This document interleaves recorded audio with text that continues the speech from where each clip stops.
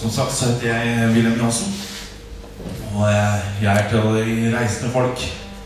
Eller som bygdefolket kaller oss tater.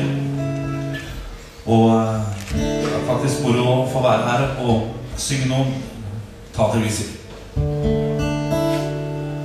Og den første låta jeg skal spille, den heter Tatervise.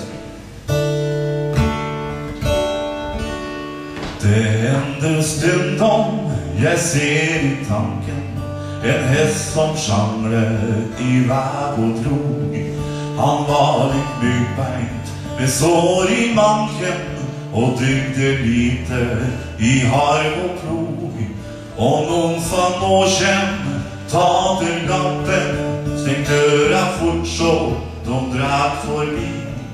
For nå de sannelig taterlappen for et liv med mening i. Jeg ser ei kjerring med gull i øra, med mye glitter og sørlandsstas. Jeg ser en ung folk på hver mot døra, og så kom gubben en riktig spas.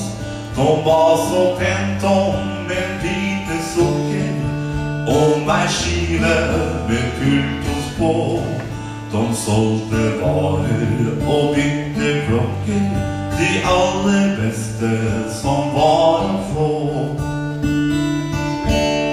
De gikk som storveiens grå soldater på hver på vandring og reisefot.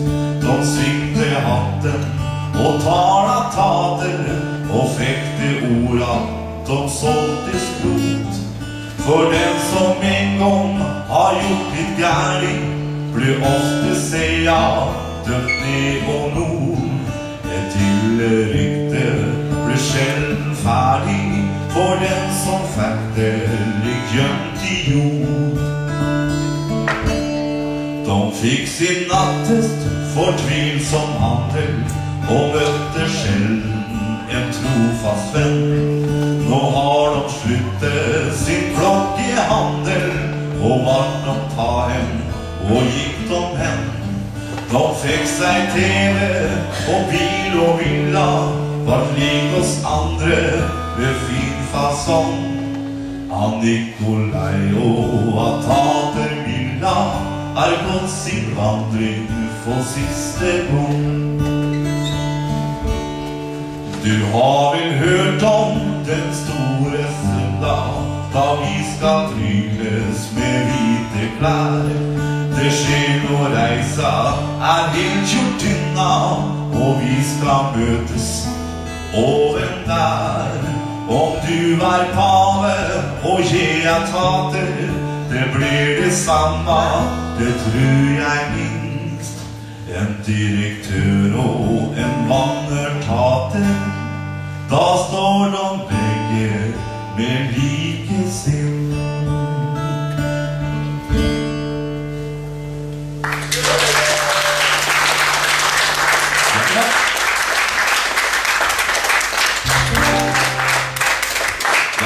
Mye gamle viser, vet du.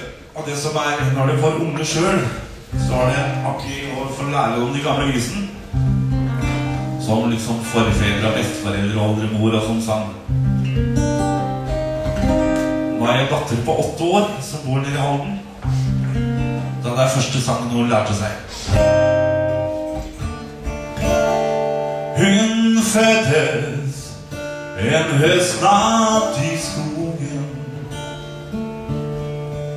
I skjær av det fremmede bål.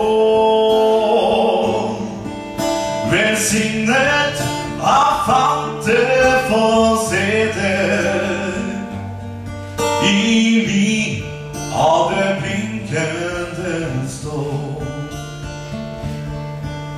Hun svøptes i fattige pjalter og savnet så innom sin mor. Som seng var av kvinner og mose. Og lyng på den hoskolde jord. før solen forsvant gjennom baret.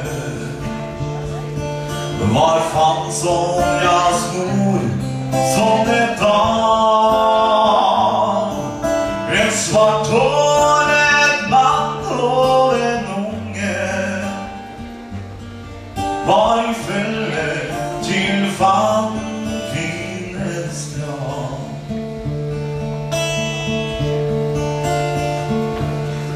Så vandret de to mot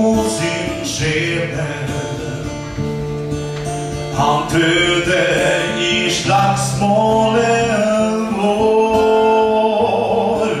Men Sonja var nødt til å leve.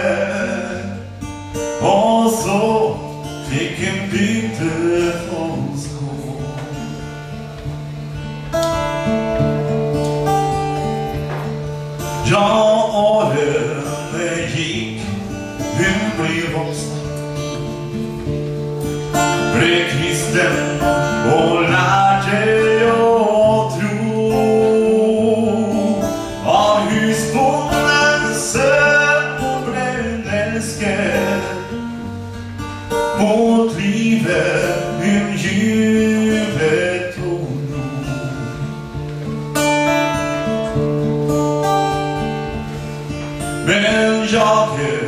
hun ble hyttens konsel Fra lykke i husbondens hus Til glede for folket og presten.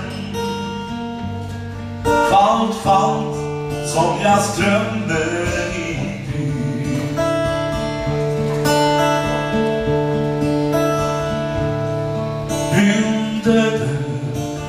lykke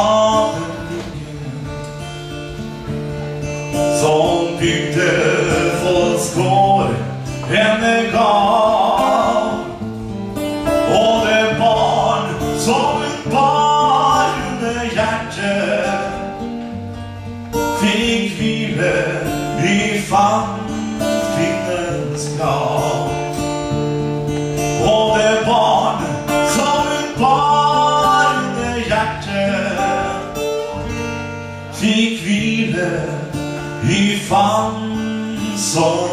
hvile i fann Sonjas grav